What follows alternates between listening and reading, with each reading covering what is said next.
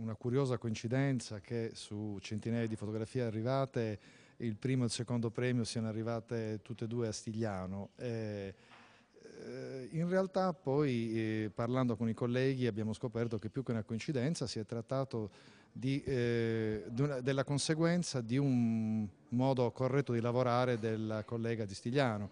E, eh, Western Union è diventato un sistema che permette alle persone che eh, devono trasferire denaro in paesi dove i sistemi bancari non sono particolarmente attrezzati, di avere in tempo reale, eh, di poter consegnare in tempo reale del contante ai, alle persone che devono riceverlo, eh, utilizzando un metodo veloce e facile. Quindi eh, il concorso è servito eh, anche per riuscire a fare il punto su un servizio che eh, noi riteniamo